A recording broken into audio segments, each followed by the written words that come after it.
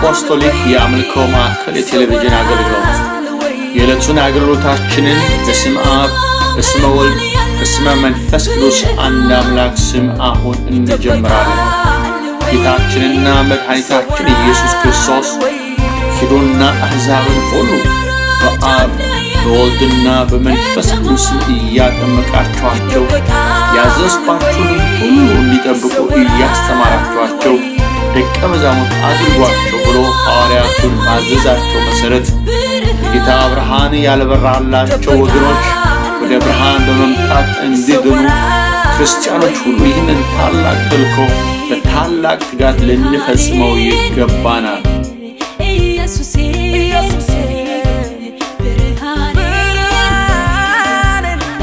ሀሳቡ ሲመራችሁ እሺ በሉት። ትላንትና ላልነበራችሁ ትንሽ ጊዜ ጊዜ ወስጄ ከልስና ትንሽ ነው ቶሎ ቶሎ ወደ ዛሬው ሀሳቤ እመጣለሁኝ። ትናንትና ታስታውሱ እንደሆነ እግዚአብሔር አምላካችን የገባልን የተስፋ ቃል አለ። ያ እግዚአብሔር የሰጠን የተስፋ ቃል እንድንወቅስ እኔና እናንተ ምን ማድረግ ይገባናል የሚል ጥያቄ አንስተን በኢያሱ ምዕራፍ አምስት ላይ ተመስርተን ማለት ከቁጥር አንድ እስከ አስራ አምስት ባለው ላይ ሶስት ነጥቦችን አይተን ነበረ። እግዚአብሔር የሰጠን የተስፋ ቃል የእኛ የእናንተ ለማድረግ በሕይወታችን፣ በቤታችን፣ በአገልግሎታችን የራሳችን እንዲሆን እንድንወርሰው ምንድን ልናደርግ የሚገባ ከእነዚህ ከእግዚአብሔር ሕዝቦች የምንማረው ቁም ነገር ምንድን በሚል ሶስት ነጥቦች አይተናል። በተለይ በኢያሱ ምዕራፍ አምስት ላይ ተመርኩዘን ማለት ነው። የመጀመሪያው ያየነው በፈተና ተስፋ አንቁረጥ፣ በዚያ ምን እናያለን? እጥፍ ባርኮት እንቀበላለን የሚል ነው። የሚገርማችሁ ነገር የእግዚአብሔር ሕዝብ ፈተና አለበት፣ ከፈተና ውጭ አይደለም። ይህንን በደንብ አድርጋችሁ ተገንዘቡ። ለሁል ጊዜ ይጠቅማችኋል። አንዳንድ ጊዜ አንተ ክርስቲያን ከሆን አንተ እግዚአብሔር ልጅ ከሆን አንተ አማኝ ከሆን ምንም አይነት ፈተና ይደርስብ እንደው ጥሰህ ጣጥሰህ ትሄዳለህ ምናምን ሊሏችሁ ይችላሉ ሰው ውሸት ነው ወገኖች። አንዳንድ እንደውም እየጣጣሳችሁ የሚያልፍ ነገር ይመጣል። እንደውም እየረጋገጣችሁ እያስለቀሳችሁ እያሰኛችሁ በሕይወታችሁ መሬት ላይ እንድትወጡ የሚያደርግ ነገር ሊመጣ ይችላል። ሆኖም ግን ብቻችሁን አይደላችሁ። ማን አለ? እግዚአብሔር አለ። ያንንም እግዚአብሔር ሲያደርግ እግዚአብሔርን ከአሁን በፊት ያላወቅነው ማንነቱን እንድናውቅ ለማድረግ ነው። ወገኖቼ የእስራኤል ሕዝብ ከግብፅ ወጥተው ኤርትራ ባህር ሲደርሱ ከኋላቸው ፈርዖን ሲመጣ አያስጮህም እንዴ? ይሄ ቀይ ባህር ፊት አለ፣ ከኋላ ፈርዖን መጣ። ፈርዖን የመጣው ፈረስ ሊያስጋልባቸው አለ ደግሟቸዋልና በቅሎ ይዤላችሁ መጥቻለሁ፣ ሰረገላ ይዤ መጥቼላችኋለሁ እና በቃ በስራ ተቀምጣችሁ ሀገራችሁ ግቡ የመጣው ሊያርዳቸው የሚያርዳቸው ነፃ ከወጡ በኋላ አስቡ። ነፃ ከወጡ በኋላ ፈርዖን ሲመጣ ቀይ ባህር ደግሞ ፊት አለ። ሊሻገሩት አቅም የላቸው። ይሄ ያስጮኋል አያስጮህም? ያስጮኋል አያስጮህም? ወገኖች የእስራኤል ጮሁ ነው እኛ እዛው ብንሞት አይሻለንም ነበር ወይ አሉ። ግን ወገኖቼ እግዚአብሔር ሆን ብሎ በዛ መንገድ ያመጣቸው ለምን ብትሉ እግዚአብሔር ለካ በባህርን ምን አለ መንገድ አለው። ጌታ ስሙ የተባረከ ይሁን። በባህር መንገድ አለው ብቻ ወገኖቼ ፈርዖን ዳግመኛ እንዳይከተላት ለሁል ጊዜ በቃ ፍጻሜ ሊሰጠው ነው እግዚአብሔር የፈለገው። ስለዚህ አሁን ኤርትራ ባህር ደረሱ። ሙሴም ጮኸ አብሮ በል እጅን አንሳረው፣ ብትርህን አንሳረው። ብትሩን ሲያነሳ ባህሩ ተከፈለ፣ እግዚአብሔር ሕዝብ ተሻገረ። ግን ሌሎቹ ሊሻገሩ ሲሞክሩ የሚገርመው ነገር እንደገና እጅን አንሳ ሲለው ለሙሴ ውሃው ምን ሆነ? ተመለሰና ፈርዖንና ሰራዊቱ ለዘላለም ፍጻሜ ያገኘ። ጌታ ስም የተባረከ ይሁን። አዎ የእግዚአብሔር ሕዝብ ፈተና አለበት። አሁን ዋው አምላካችን አሉ። ሙሴ መዘመር ጀመረ፣ ማርያም መዘመር ጀመረ። ቅድም ሲያለቅሱ የነበሩ ሰዎች ቅድም በቃ እግዚአብሔር ሊያስገድለን ነው ወይ እዚህ ያመጣን ያሉ ሰዎች አሁን አምላካችን ለካ ትልቅ ነው፣ ፈረሱና ፈረሰኛውን ጣለ አሉ። ጌታ ይባላል። ከበሮ ይዘው በሽብሸባ በእልልታ ጌታን ያከብሩት ጀመር። ጌታን አዩት። ጌታ ለራሱም ክብርን ወሰደ። ከአሁን በኋላ የሚከተላቸው የለም። አው ፈርዖን በፈረስ ሲሮ ስታው፣ በሰረገላ ሲሮ ስታው የሚደርስ ይመስላል። ወገኖቼ ጠላታችን ስለሮጠ አይደርስብንም። አይደርስም። ሊሮጥ ይችላል። አይሮጥም አይልም የእግዚአብሔር ቃል። አይከተላችሁም አይልም የእግዚአብሔር ቃል። ሊከተል ይችላል ግን አይደርስም። ጌታ ይባረክ። እግዚአብሔር ጣልቃ ይገባል። ያው ከፊት የነበረው መልአክ እግዚአብሔር አደረገው አዘዘውና ከኋላ ደጀን ሲለው እዛኛው ጨለማ፣ እዚህ እግዚአብሔር መካከል ምን ሆነ? ብርሃን። በጥላ ሰፈር ጨለማ፣ በዚህ ደግሞ ብርሃን። እግዚአብሔር በጠላቶቻችንና በእኛ መካከል ይለያል። ስለዚህ በፈተና ተስፋ ሆነች። አሁን ይሄ ዮርዳኖስን ከተሻገሩ በኋላ አስቀድሞ ዮርዳኖስ አስፈሪ ነበር፣ ግን ከተሻገሩ በኋላ የአሞራውያን ነገሥታት ከነዓን ነገሥታት ሁሉ ነው ልባቸው ቀለጠ። አሁን ይሄን ልቡ የቀለጠን ህዝብ መዋጋት ከባድ? ቀላል? ምን ይመስላችኋል? ቀላል ልባቸው ቀለጠ ነው የቀለጠ ወታደር አይዋጋም። እግዚአብሔር ልባቸውን ለማቅለጥ ነው ዮርዳኖስን ያደረገ። ስለዚህ አንዳንድ ጊዜ በእናንተ ህይወት ውስጥ የሚያልፈው ነገር እናንተን ከፍ ለማድረግ ነው። እግዚአብሔር ጠላቶቻችሁን ለማርበድበድ ነው ወገኖች፣ ጠላቶቻችሁን ለማስጨነቅ። ስለዚህ በህይወቴ ለምን ያልሆነም ይሄ ለምን አልመጣም? የተሻለ እግዚአብሔር ያውቃል ወገኖች። ለእኛ ለእናንተ የሚያስ እንደው ቅድም ፓስተር ሲያነብልን ነበር። እኔ ለእናንተ የማስበውን ሀሳብ አውቃለሁ። ፍጻሜና ተስፋ ያለው ፍጻሜ ያለው ተስፋ ያለው የሚጨበጥ ነገር ሊሰጠ ነው እግዚአብሔር። ስለዚህ በፈተና ተስፋ ንብረት የእግዚአብሔር ማንነት እናያለን። ደግሞ እኛንም እግዚአብሔር በሞገሱ ከፍ ያደርገናል። ዋው አምላኩ አምላኳ ይባላል። ሁለተኛ ያየነው ቢያመን ምን እናደርግ ከለበታችን ንገር። አንዳንድ ጊዜ አለባብሰን አደባብሰን የምናልፋቸው ነገሮች አሉ። እግዚአብሔር ሸፋፍነን ልናልፍ የምንችል አምላክ አለ ወገኖች። እሱ በጨለማ ሁሉ ያለው ምን ያደርጋል? ያያል፣ ያውቃል። አንዳንድ ጊዜ ከሰው ሊደብቅ ከሁላችሁ ብዙ ነገር ሊደብቅ ይችላሉ፣ ግን ከእግዚአብሔር አይደበቅም። ከእግዚአብሔር አይደበቅም። ሰው ሞኝ ነው። ብዙ ጊዜ ነገሩ ከማን ይደብቃል መሰላችሁ? ከሰው ነው የሚደብቀው። ከሰው ይደበቅ እንጂ ከእግዚአብሔር ግን አይደበቅም። ወገኖች ዳዊት የኦርዮንን ሚስት ሲወስድ የራሱ ሚስት ሲያደርጋት ባሏንም ሲገድል በቃ ነገሩን ገድየዋለሁ ብሎ አሰበ። በቃ ጨርሼዋለሁ ተሸፈነ ብሎ አሰበ። ግን ለካ ከሰዎች ነው እንጂ ነገሩን የሰወረው ከእግዚአብሔር አላደረገው አልሰወረውም። እና ነቢዩ ቀስ ብሎ መጣ። ያው ሊባርከኝ መጣ ብሎ ሳያስብ አይቀርም ዳዊት እንደተለመደው በቃ እግዚአብሔርን ሀሳብ ሊነግር በቃ ውጣ ተከናወን ይለኛል ብሎ ሲጠብቅ ከዛ በምሳሌ ያናግረው ጀመር። አንድ ባለጸጋ ሰው ነበረ። ያው ታሪክ ታውቃላችሁ። እና ባለጸጋው እንደ ልጅ የሆነችለትን ያንዳ ምስኪን ሰው ጠቦት ወስዶ ምን? አረደ። እሱ ግን ብዙ ሙግት አለው፣ ብዙ ጠቦቶች አሉት። የዛ ጊዜ ዳዊት ፈነዳበጭ። በቃ በንዴት በእኔ ግዛት እንዴት ይሄ ይሆናል ምናምን ብሎ ራሱን ሊያቀር ሲሞክር ዳዊት ያ ሰው አንተ ነህ፣ እግዚአብሔር አይቶሃል እንዲሸፋፍነህ ለማለፍ ትሞክራለህ እንዴ? እግዚአብሔር አይደለልም፣ እግዚአብሔር አይዘበትበትም። ስለዚህ ልንገረዝ የሚገባው ነገር መሆን አለበት። መገረዝ አዎ ካህናቶች እየቀደሱ ናቸው፣ ሌዋውያን እየዘመሩ ናቸው፣ ብዙ አገልጋዮች እያገለገሉ ግን አልተገረዙም። እግዚአብሔር ግን ከዮርዳኖስ ማሻገር ምን አላቸው? ይሄ ጊዜው አሁን አሁን መሆን አለባቸው፣ መገረዝ አለባቸው። ያውም የምትገረዙት በምንድን ነው? በቋልጭት በቢላዋም አይደለም፣ በመቀስም አይደለም፣ በሰንጤም አይደለም።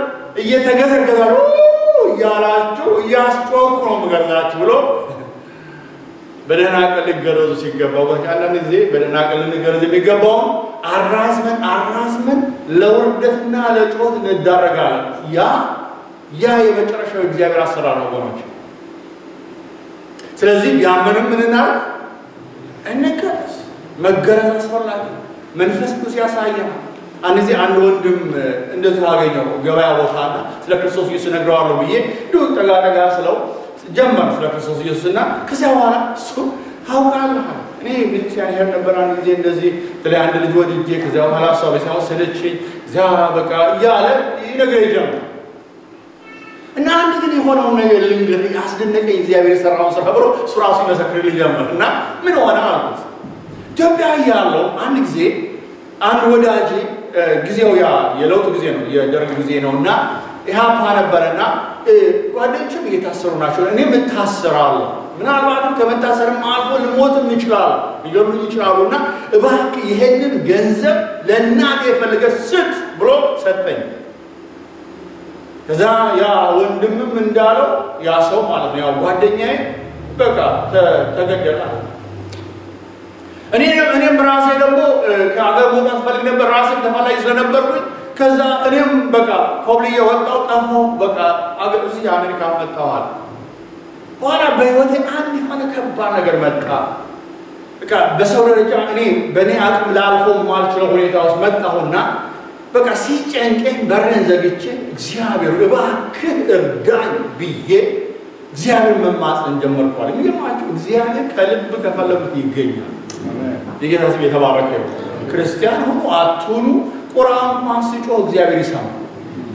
ስለዚህ ይሄ ሰው መጮህ ሲጀምር ገና ተንበርክኬ ይሄ በቃ ልቤን ሳፈስ ተንበርክኬ እያለሁ ጓደኛዬ እዛ ቁጭ ብሎ ልክ በስጋ እንደማ እና በጣም ደነገጥኳል። እና ፊቱ ደግሞ በቃ እንደ ማዘን ሆኖ ነው ያየሁት እና ልክ በስጋ አየሁት በቃ ነው እንዳየሁት ነው በቃ ያ እና ያ ለስንት ዓመት ረስቸው የነበረው ነገር ትዝ አለኝ።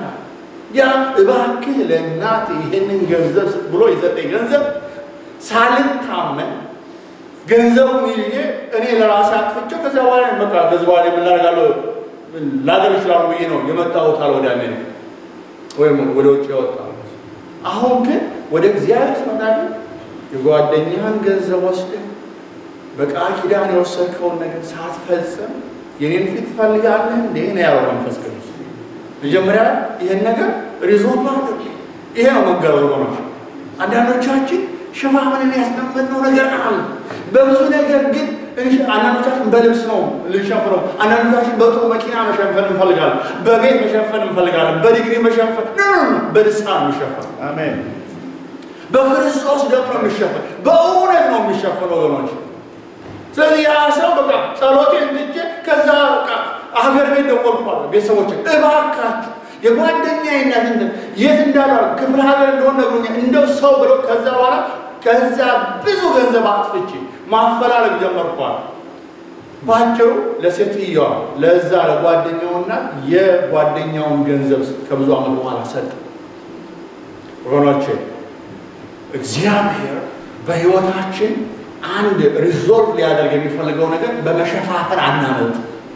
ስለዚህ ዛሬ ምናልባት ወገኖች በሕይወታችሁ ልትገረዙት ሊወድቅ የሚገባው ነገር ካለ ጣሉት።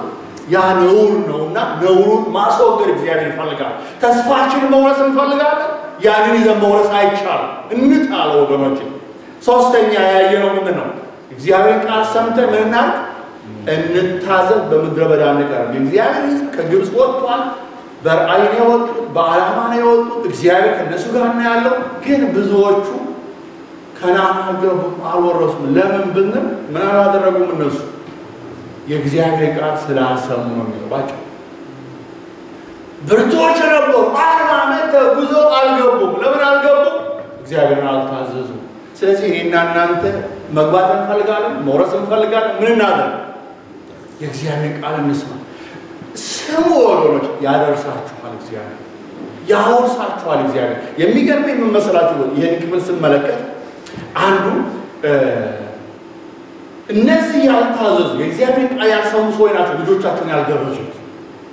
even የእግዚአብሔር ቃል ኪዳን እምቢ ብለው ልጆቻቸውን ያልገረዙበት ምክንያት አመፀኞች ስለሆኑ፣ በአንጻሩ ደግሞ እግዚአብሔር በእነሱ ላይ ተቆጥቶ እዛ ምድረ በዳ የተወለዱት ልጆች ከነዓን በጊዜ እንዳይገቡ ላለመግባታቸው ምክንያት ይሄ ያልሰማው ሕዝብ ነው።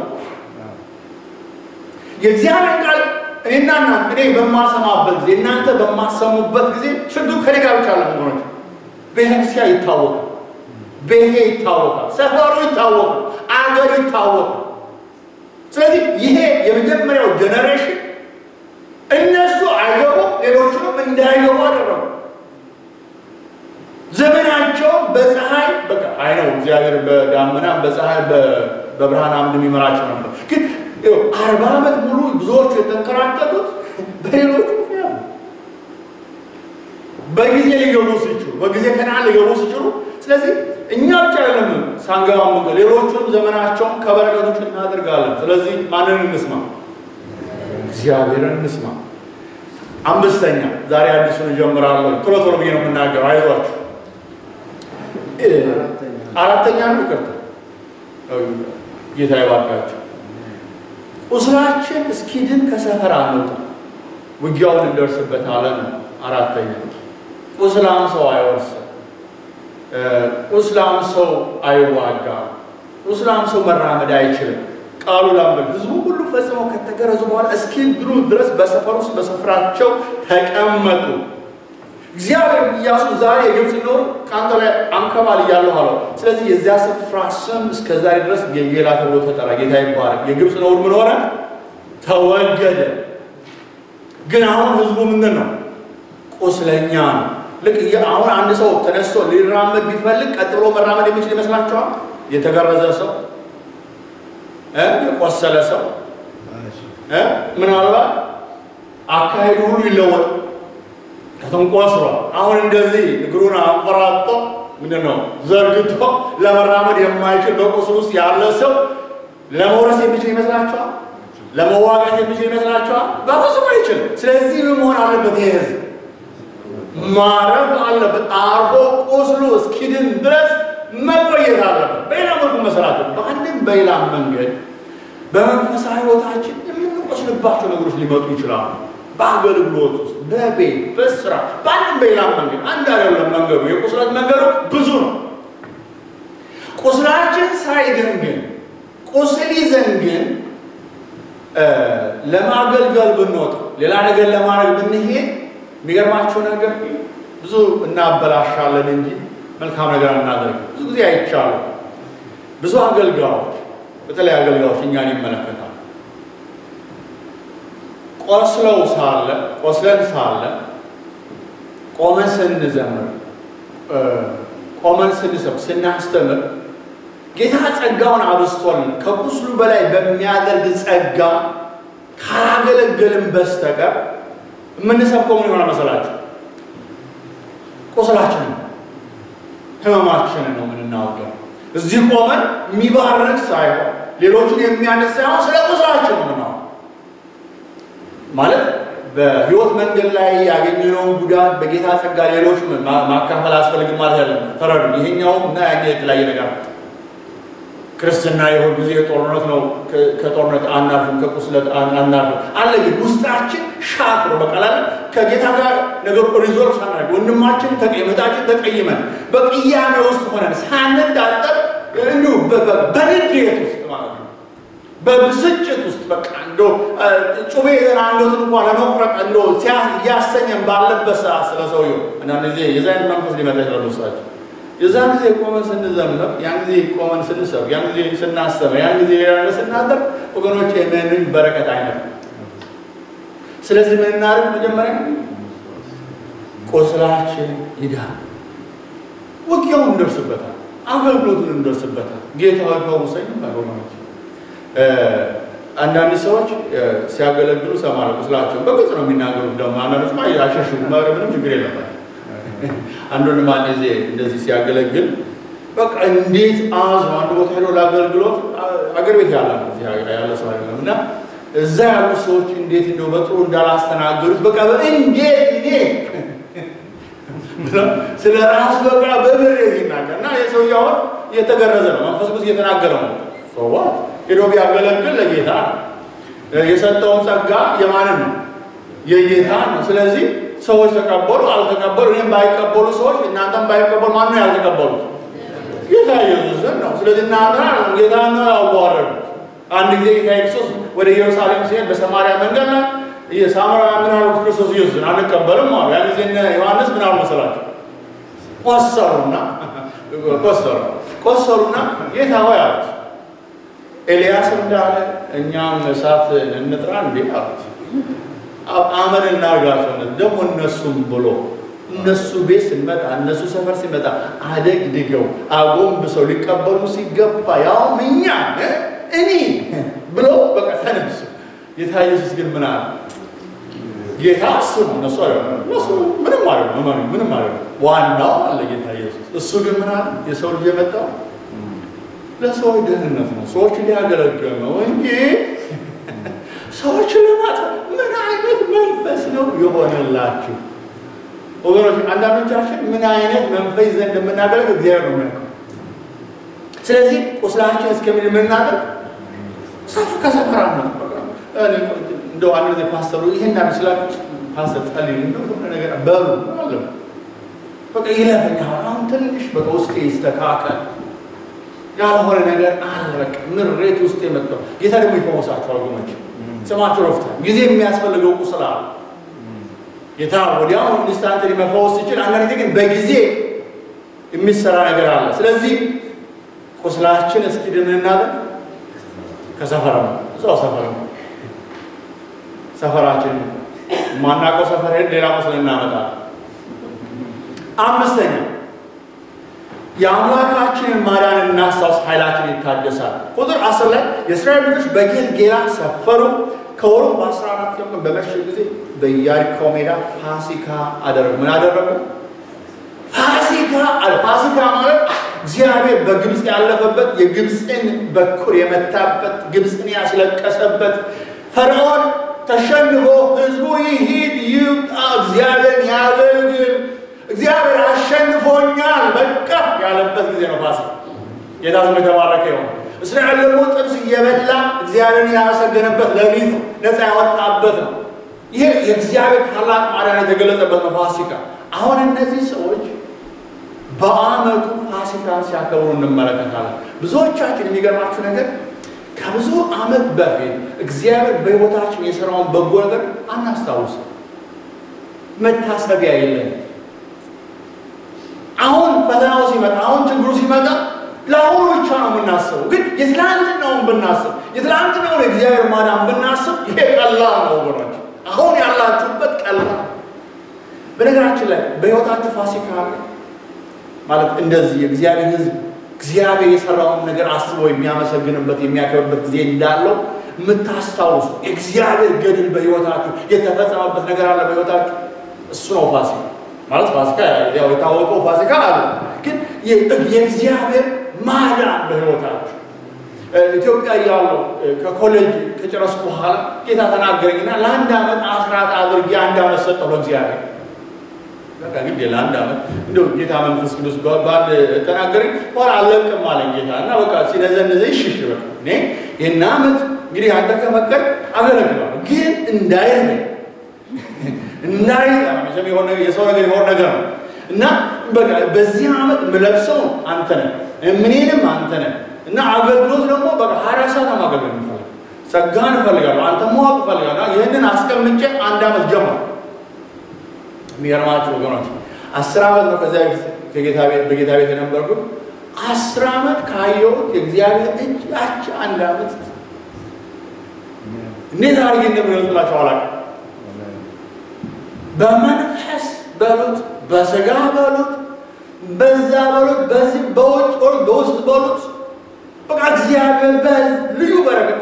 እኔን አሉ even ቤተ ክርስቲያን እግዚአብሔር በታላቅ በረከት ባረከ ጥቂት የነበረው ከዛ በኋላ ቤቱ ሞልቶ ግቢው ሞልቶ ከዛ በኋላ በቃ እንደ ጎርፍ በቃ ጎርፍ ሊወስደን አይነት ጎርፍ ሲመጣ የሚያጥለቀልቅ አይነት በቃ ሆነ እሱ ብቻ ማለት የሚገርማችሁ ነገር።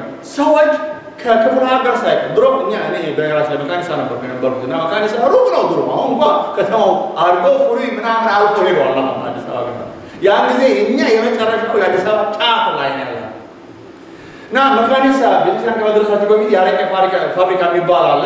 እና እዛ ፋብሪካው ቱቦ ተሰብሮ ከዛ የሚወጣው ነገር ሽታ አለው እና ሰዎች እዛ አልፎ መምጣት ይጠላሉ። በከተማ ስንጋብዛቸው አንድ ቀን ከመጡ እንደምንም በቃ ሰፈራችሁ፣ በዛ ላይ አውቶቡሳችሁ ሁለት ቁጥር ነች፣ አትገኝም። በቀን ሁለት ጊዜ ከመጣችም እግዚአብሔር ይመስገን የሚባሉ ግን ያን ጊዜ እግዚአብሔር ከተማ ማለት ቤተክርስቲያናችን በማይስብበት ጊዜ አይደለም ከአዲስ አበባ ከክፍለ ሀገር ከውጭም ሀገር ሰዎች መጡ ጀመሩ። ለምን ብትሉ እግዚአብሔር መስራት ጀመሩ። ናቸው እግዚአብሔር መስራት እግዚአብሔር ይመካ እግዚአብሔር ሲሰራ እንደዛ ነው ነገሩ እና ሰዎች ግቢ ውስጥ ገብቶ ዝም ብለው ይፈወሳሉ። አጋንንት ገና ገና ገና መካኒሳ ቤተክርስቲያን ከመድረሱ ላይ መካኒሳ ይጮኋል። ምን አይነት ነገር ነው? ሰዎች ቁልቢ ገብርኤል ሆነ ይላሉ። ቁልቢ ገብርኤል ብቻ ኢየሱስ መስራት ጀመረ። አሁን ያን ጊዜ ያ አንድ ዓመት በእግዚአብሔር ቤት የገባሁት ቃል ኪዳን ነበረና ጌታ ሆይ አገለግላለሁ ብቻዬን ናምን አብላኝ ልብሴ የአገር ሳይሆን የውጭ ሀገር ነው። ከጣሊያን ሀገር ምናምን ማን እንደሚያቀብለኝ አላቃቸውም። ልብሴ የማደርገው ጫማ የማደርገው በወር የነበረኝ ገቢ ማን እንደሚሰጠኝም አላውቅ። አንዳንድ ሰዎችን አሁን አስታውሳለሁ። እግዚአብሔር በሚያውቀው ነገር አንድን ሰው ለምኛ አላውቅም። ለምነው ነው የሚሰጡኝ እንደው እና አስደነቀኝ ጌታ ኢየሱስ።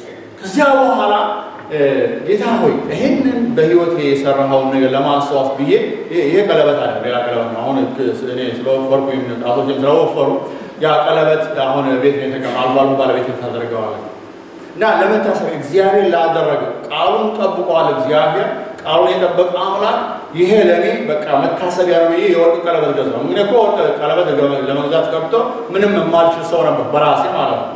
እግዚአብሔር ግን ወርቅም ያስገዛል። ጌታ ስሙ የተባረከ ነው።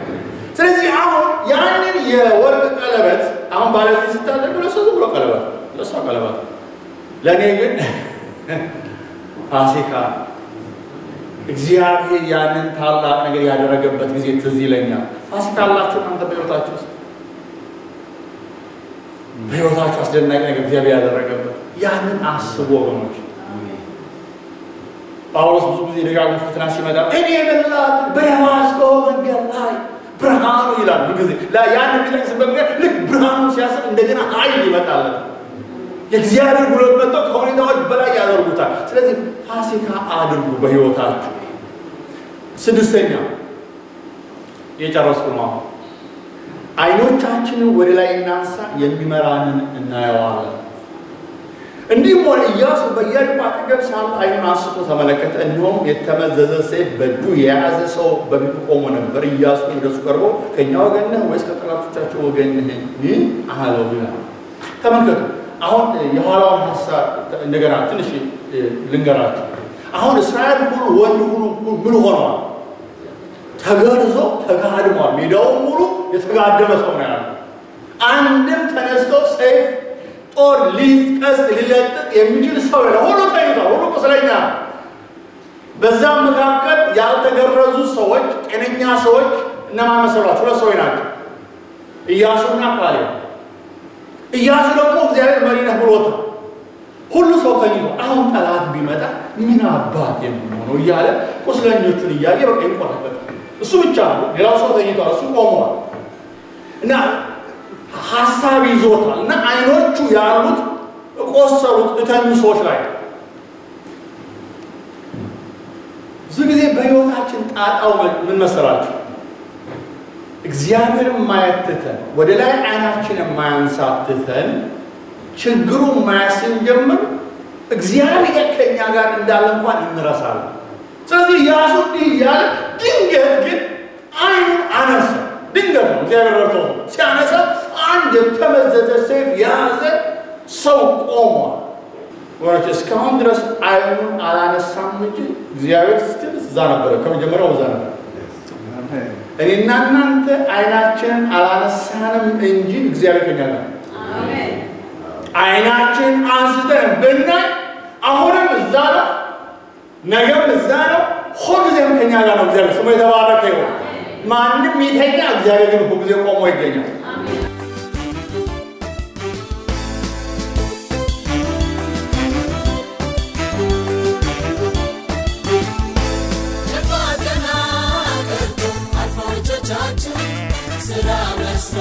የዕለቱን የቴሌቪዥን አገልግሎታችንን በዚህ ላይ ፈጸምን። እስካሁን ድረስ አብራችሁን የቆያችሁ ወገኖች በሙሉ የእግዚአብሔር ባርኮት ጸጋና ምሕረት ከእናንተ ጋር ይሁን። በሚቀጥለው አገልግሎታችን እስከምንገናኝ ድረስ የጌታ ጥበቃ አይለያችሁ። በጌታችን በኢየሱስ ክርስቶስ አሜን።